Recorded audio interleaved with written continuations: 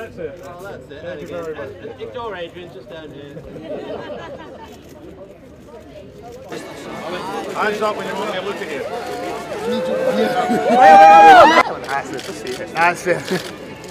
Thank you so much. Thank you.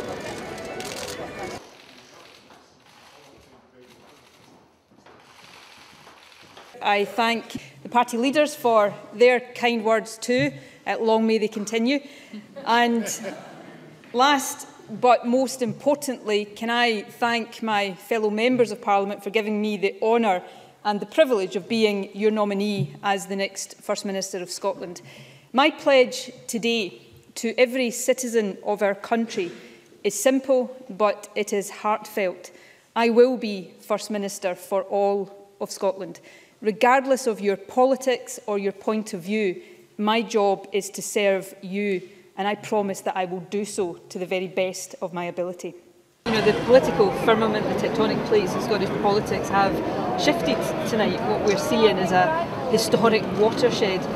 Now, I don't think that's happened overnight. I don't even think it's happened just since the referendum, although I think that has obviously had a big impact. But Labour's been losing touch with the Scottish people over many years now.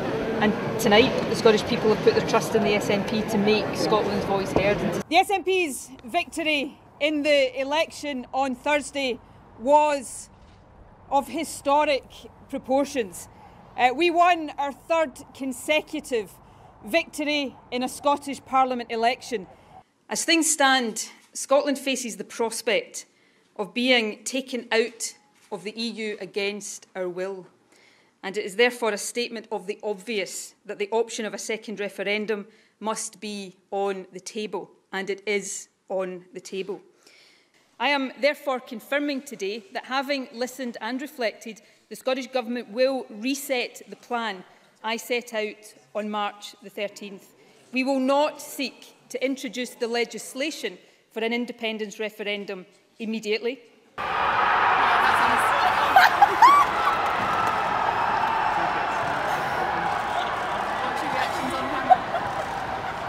By staying at home, uh, all of you are helping us to slow the spread of this disease, helping us to protect the NHS and ultimately helping us to save lives. Presiding officer, questions have also been raised in the past about meetings I had with Alex Salmon during the investigation and so I want to address that issue now.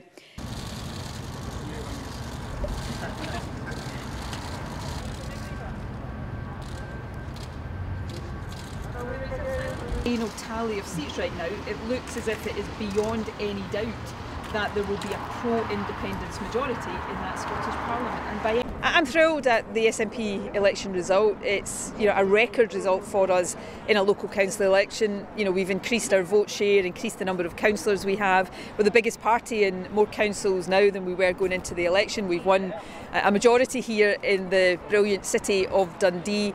That would be an outstanding result for any party in any circumstances. But the SNP is a party 15 years into government, so it's a big big vote of confidence in the leadership the SNP provides in Scotland at national level and at local level across many parts of the country. So